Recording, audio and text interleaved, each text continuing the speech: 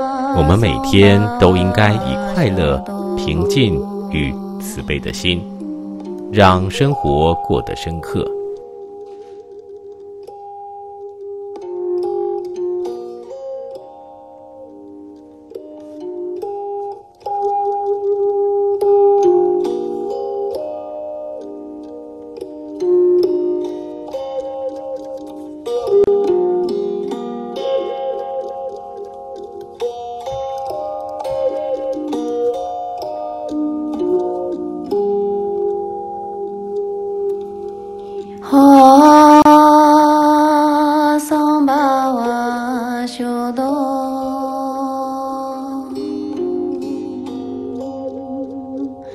修心要低调，不应炫耀，不能用修心来引人注意或创造声誉。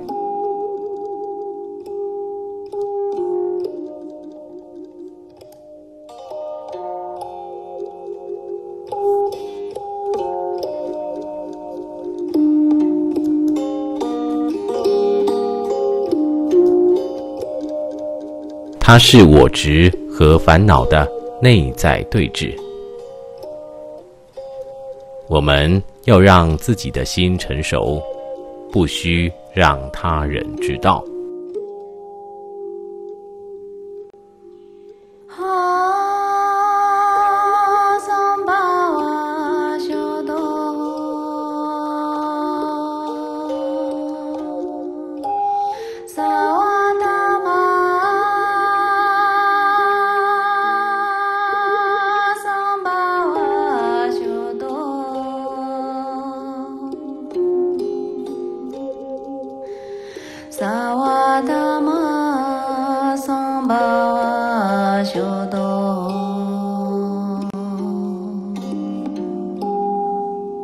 当我们在计较别人是非的同时，自己正是制造是非与执着是非的人。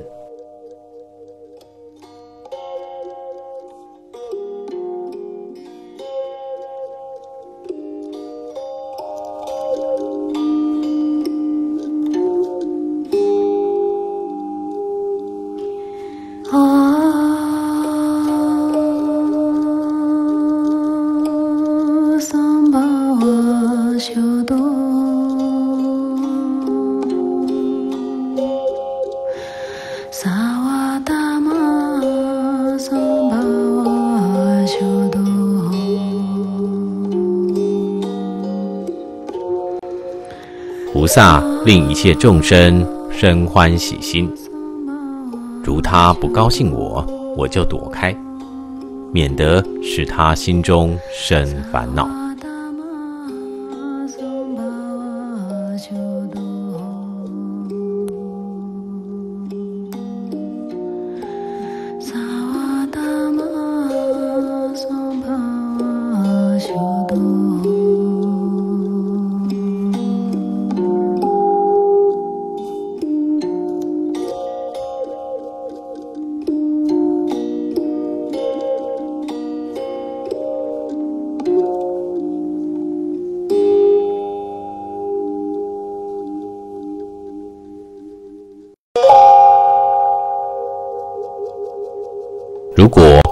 知道如何把障碍带入修行之道，那么不论面对多少困难和冲突，他们只会让我们的修行更清楚，而不会成为道路上的障碍。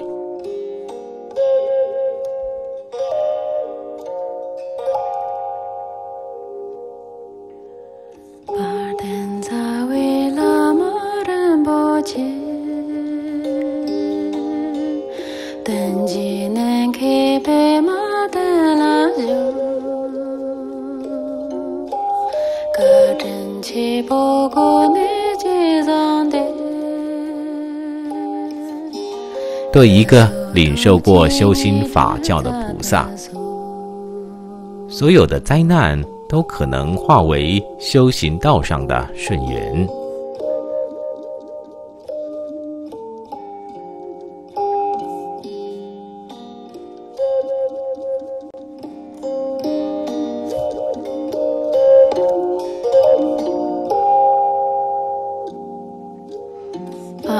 Senzawe lama Rinpoche Tenji nanki pe ma telas yo Ka chenche pogo ne je zangde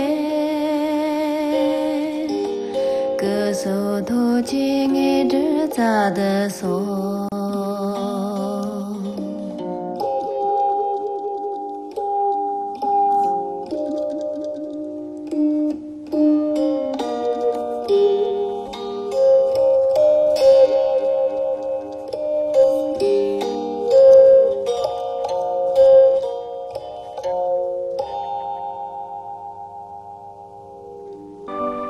各位菩萨，阿弥陀佛。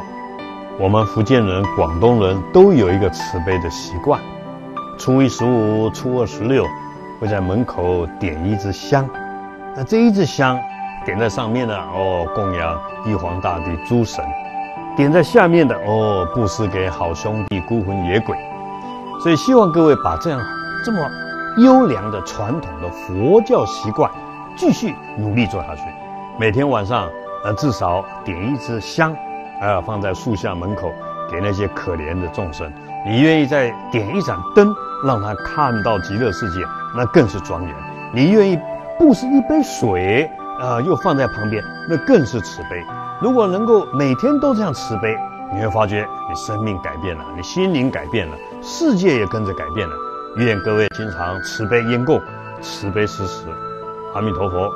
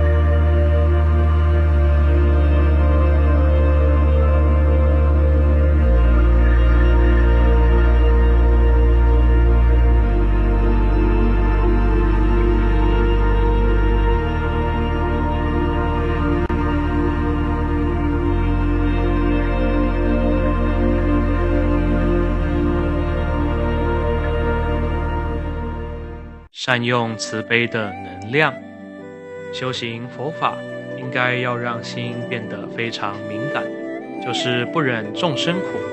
由于慈悲心的驱使，我们对于任何生命、一切众生，一点也不愿意让他们受苦受难。就像每个孩子都是父母心头上的一块肉一样，永远是绝对的细心呵护。心清净，则众生清净；众生清净，则世界清净。当我们内心没有烦恼、自我与对立，只怀有慈悲、奉献与智慧时，就是净化了一切负面的情绪。极乐净土也就永远存在于我们心中。一分清净，即是一分净土；十分清净，即是十分净土。我们不必要求他人对待我如何，相反的，应该检视自己对待他人如何。当我们是永远忍让、永远慈悲、永远付出地对待一切生命时，所得到的回应也将会是正面与善意的。光明的人生应该由我们自己积极制造。生活的目的就是为了散播慈悲。以及佛陀的法音，活着就是为了修行。就是为了推动道德良知以及佛陀正法，这也才是生活的目的，也是一种责任。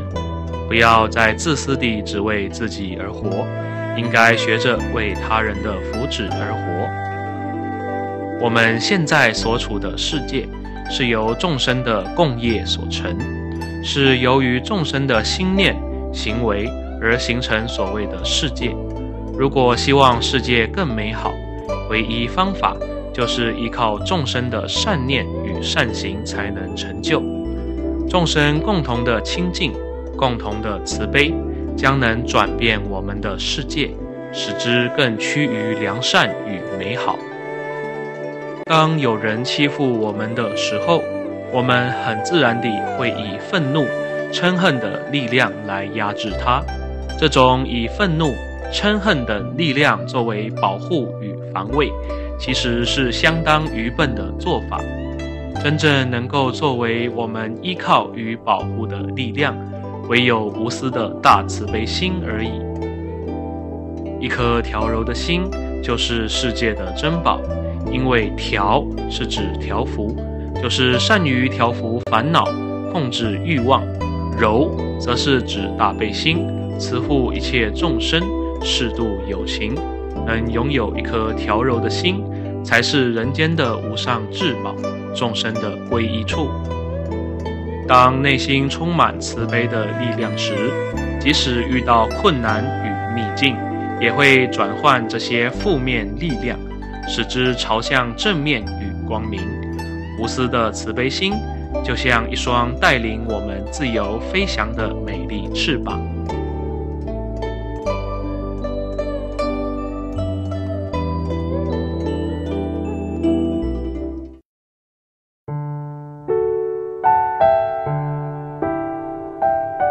护持功德殊胜行，无边胜福皆回向。普愿沉溺诸众生，速往无量光佛刹。十方三世一切佛，一切菩萨摩诃萨，摩诃般若波罗蜜。